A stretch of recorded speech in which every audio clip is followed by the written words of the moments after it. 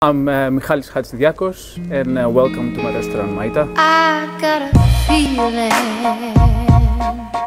deep inside. I'm uh, half Greek, half Dutch. I moved to Holland to uh, work in the hospitality and my vision was to start up my own restaurant and uh, Maita was my first one. I started as a cook because I was always loving food, cooking. I explore my experience in the culture and in the Peruvian cooking.